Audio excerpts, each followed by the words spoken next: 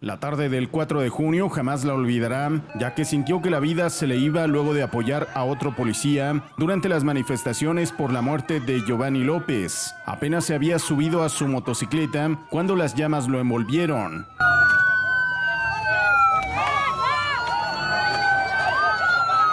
Recuerdo que me llegó un olor muy peculiar como al tiner. Ya cuando quise reaccionar, pues ya, ya nomás veía puro, puro fuego, ya me veía envuelto en fuego, era una situación muy desesperante.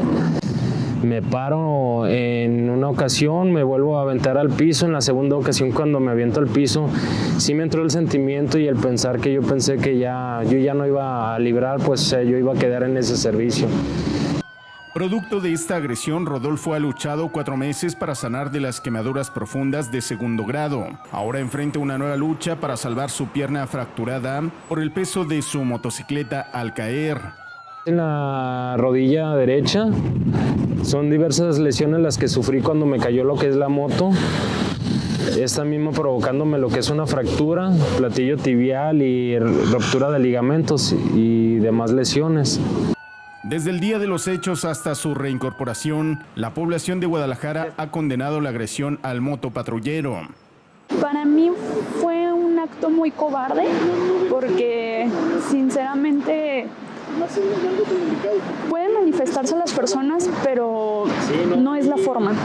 Y cuando vemos cómo lo impregna con un líquido inflamable y vemos cómo... 10 robots que ayudarán a la limpieza contra virus y bacterias en hospitales COVID-19. Con luz ultravioleta y recorridos exactos, los creadores del robot y especialistas del hospital aseguran que se obtienen mejores resultados y de menor riesgo que con químicos. El proceso es auxiliar a la limpieza cotidiana y tradicional.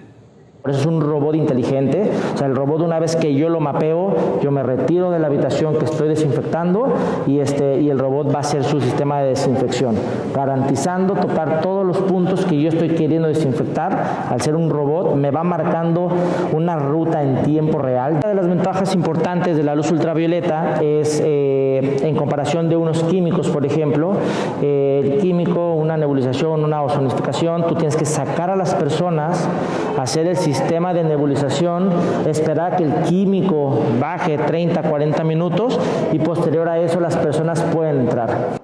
Este servicio no costará un solo peso a los dos hospitales civiles COVID-19 en Guadalajara, ya que el beneficio cuenta con los recursos o el tiempo para trasladarse a los centros de abastecimiento de oxígeno y adaptaron una camioneta con tanques certificados para acercar el insumo médico a colonias y comunidades de la periferia al área metropolitana.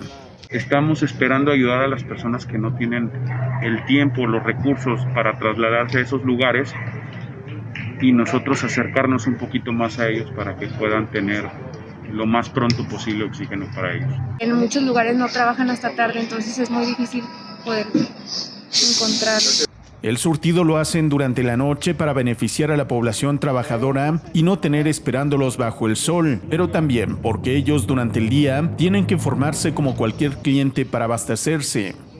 Nuestro proceso de surtido, también como todas las personas, tenemos que llegar a hacer una fila con los proveedores de oxígeno para surtir los tanques que yo necesito para poder venir a las comunidades a hacer el surtido de oxígeno nos hemos encontrado más que desabasto con una cantidad. Estudiante de mecatrónica en la Universidad de Guadalajara, se alista para participar en un programa aeroespacial auspiciado por la Administración Nacional de Aeronáutica y el Espacio conocida como NASA de la Unión Americana. A través de su computadora respondió una convocatoria para aplicar exámenes y entrevistas de nivel mundial con pocas expectativas de ser seleccionado. A raíz de ese correo, de ese correo eh, pues investigué acerca de lo que era el programa, eh, discerní un poco la información y vi que había una convocatoria a nivel mundial donde seleccionaban solamente a 60 personas de todo el mundo.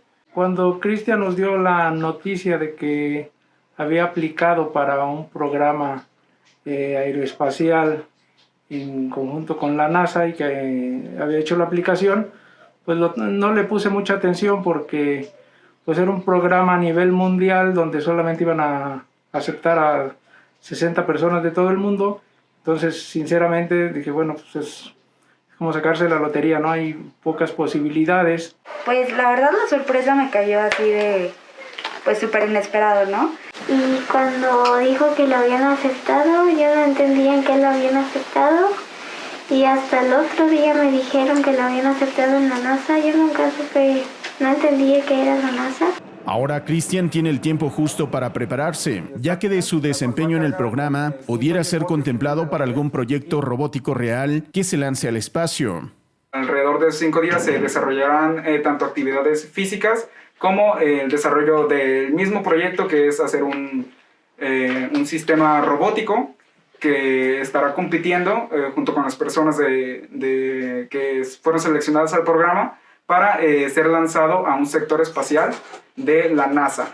Esto es mi, mi pasión, mi hobby, eh, estar, eh, bueno, la programación como tal. Este programa que tengo aquí lo que hace es eh, detectar ciertos colores como el rojo, verde y el azul para que en alguna página como lo es Twitter ponga el verde y baje la pantalla, ponga el rojo.